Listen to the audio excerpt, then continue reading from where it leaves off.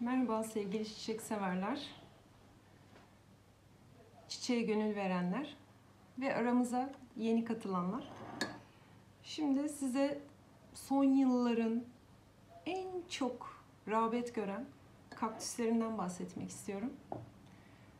Ee, bakımını öğrendikten sonra inanılmaz derecede e, güzel büyüyorlar.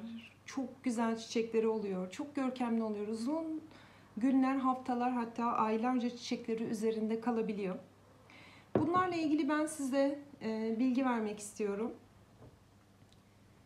E, mesela e, şu küçük iki tane kaktüsümden size bahsedebilirim. Bunları bir yıl önce çok küçük bir şekilde ekmiştim. Farklı türlerini de yan yana ekebiliyorsunuz.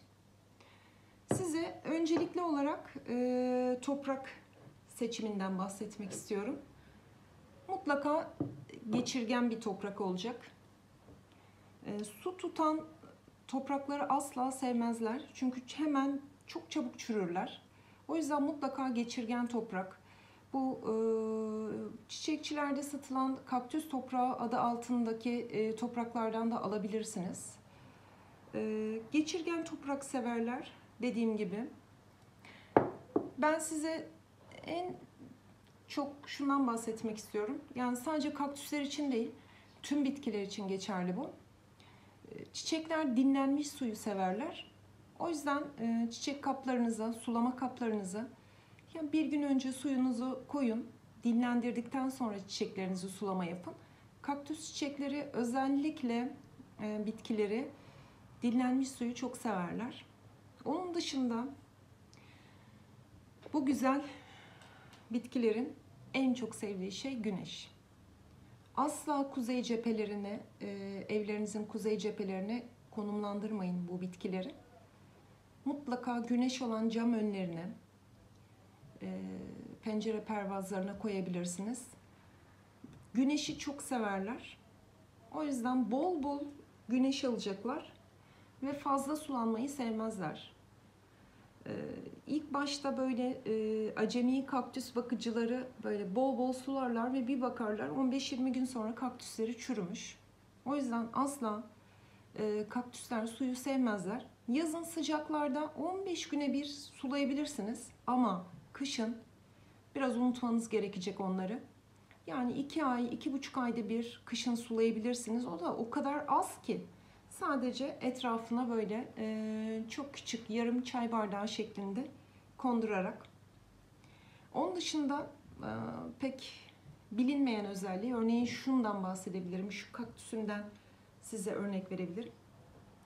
Bunu ben yaklaşık 3 yıl önce e, ektim. Gördüğünüz üzere daha 3. yılında yeni büyümeye başladı.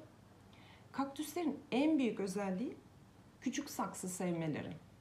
Yani büyük saksıları kesinlikle e, ekim yapmanızı önermiyorum. Ama benim gibi sabırlı olursanız hani böyle özellikle bir çiçeğe e, hani bu saksıya bu kaktüs olmalı diye e, düşünüyorsanız özellikle ben bunu onun için e, ekmiştim. İşte üçüncü yıldan sonra işte yaklaşık olarak iki parmak büyüdü. Bir iki yıl sonra falan da eminim ki inanılmaz güzel e, çiçeklerini verecek. Ben bu konuda çok sabırlıyımdır. Dışında dediğim gibi çok minik saksılara ekim yapacaksınız. Yani kendi boyutlarının bir büyüğü olabilir, iki büyüğü olabilir. Gördüğünüz üzere bu da çok minicikti. Ben bunu e, daha önce farklı bir e, saksıdaydı. Bu yıl saksısını değiştirdim henüz. E, bahar ayına girdiğimizde. Dediğim gibi büyük saksı kesinlikle sevmiyorlar. Bir de şöyle bahsedebilirim. Dediğim gibi bakın ben bunu böyle e, 4 tane kaktüs seçip böyle güzel bir e, cam kabıma ektim. Aslında hani derler ya e, mutlaka delikli saksı olsun diye. Dibine taş koyabilirsiniz. Geçirgen toprağı koyduğunuz zaman ve fazla sulama yapmadığınız zaman her kaktüs bulunduğu yeri sever. Sadece bunlar için güneş yeterli olacaktır. Bir de e, kaktüsler şundan hoşlanmıyor. Yer değişikliği. İşte ben bunu buradan aldım şuraya koyayım. Yok o burada olmadı burada. Mutlaka e, alıştıkları ortamları çok severler ve alıştıkları ortamlarda gelişim gösterirler. O yüzden fazla yer değişikliklerinden hoşlanmıyorlar. Onun dışında başka söylemek istediğim e, tekrar hatırlatayım. Güneş toprağının özelliği. Toprak değişimine gelecek olursak da kaktüsler pek toprak değişiminden hoşlanmazlar. O yüzden 3 yılda bir e, toprak değişimi büyüdükçe bence 3 yıl bile demememiz gerekir aslında.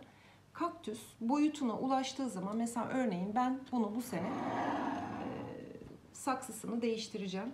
Çünkü artık kenarlarından değmeye başladı. Kaktüs boyutları büyümeye başladığı zaman e, toprağını değiştirebiliriz. Onun dışında dinlenmiş su kullanacağız. Fazla sulama yapmayacağız. Ve sevgimizi katacağız. Size bunlarla ilgili bilgiler verdim. Daha sonra kaktüs çoğaltması ve diğer bitkilerle ilgili de e, videolarımı sizinle paylaşacağım. Sevgiyle kalın, çiçekle kalın.